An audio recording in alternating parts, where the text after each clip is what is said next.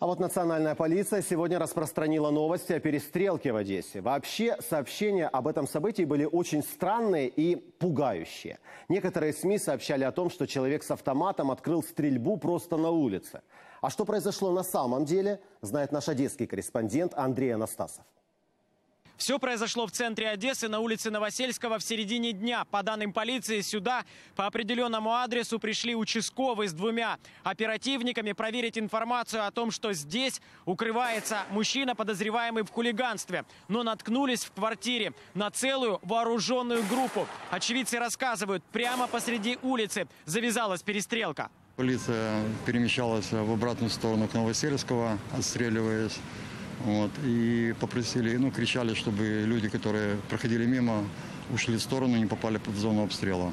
Вот, естественно, начали люди разбегаться. В МВД уже подтвердили, один из злоумышленников был с необычным оружием. В полицейских он стрелял из пистолета-пулемета. Все трое правоохранителей были ранены, один сейчас в тяжелом состоянии. И еще легкое ранение получил один гражданский таксист, оказавшийся на месте. Он просто вышел из ворот с автоматом маленьким и пошел их расстрелять просто, вот знаете, хладнокровно. Мужчина лет 40 с небольшим, такой спортивный.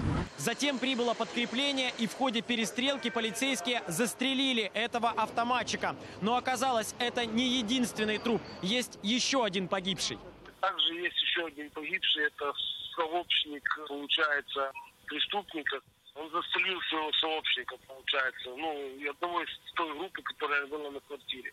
Еще двое злоумышленников забаррикадировались в квартире. Полиция несколько часов вела с ними переговоры, и по последним данным, они уже задержаны, операция завершена. Кроме того, установлена личность одного из погибших. Это Валентин Дорошенко. Это довольно известный в городе общественный деятель, участник многих маргинальных акций, которого связывали со скандальной одесской партией «Родина».